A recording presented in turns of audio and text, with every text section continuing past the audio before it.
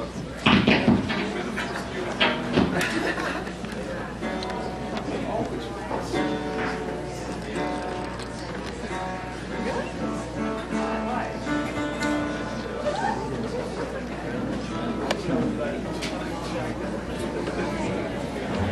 brother.